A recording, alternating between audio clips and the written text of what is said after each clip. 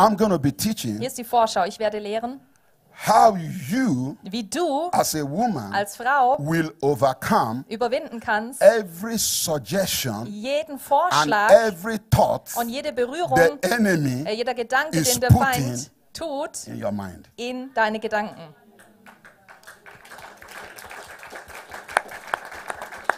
Hallelujah. Halleluja. Because the devil Weil der Feind has no legal power hat keine legale Kraft, to attack you. dich anzugreifen. He causes you Er bewirkt, dass to du believe glaubst in the suggestion an diesen he Vorschlag, put in your mind. den er dir And vorschlägt. when you accept it, Und wenn du das in Gedanken you have annimmst, given him hast du ihm authority and Autorität gegeben power und Kraft gegeben, for that thing dass die to Sache work against you. dann gegen dich wird. So at the end of the day, Und am Ende des you Tages- attack yourself.